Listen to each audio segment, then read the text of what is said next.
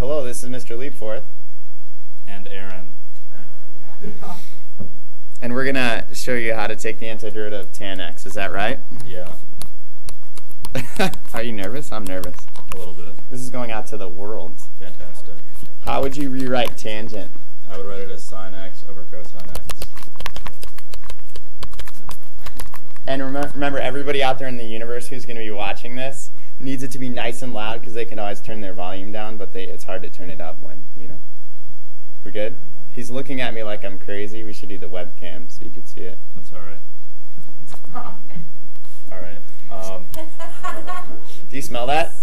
oh yeah. It smells like the chain rule. It does smell like the chain rule, right? So you fumbled around a little bit. What did you finally pick as your W? Uh, cosine x.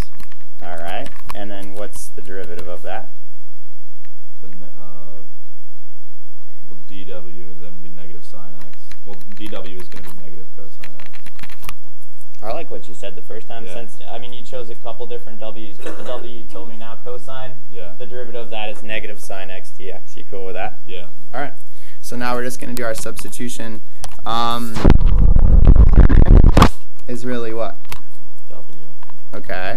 So let's make that W. And then I have sine x dx. Ooh, I usually change colors on that, right? So you can see the color code. dw, but it's negative, so you would put negative dw in the numerator. Okay. Um, and you want the negative to be inside or outside? Uh, it doesn't matter to me. I'll just put it outside if you're cool with that. Um, and some people kind of freak out when they see that, so they make it um, 1 over WDW. Because my guess is everybody knows what this is, right? Mhm. What's the antiderivative of that? It's going to be negative natural log cosine x. Okay, so cosine x is your w, right? Um, in absolute value plus c. Now that is your answer, right? That's got to blow your mind, right? You start out with tangent, which is like this strange little trig thing, and then you end up with natural log, which is this strange little like two algebra trig thing. That's crazy, right? Yeah. That you would take the antiderivative of tangent and end up with that crazy thing.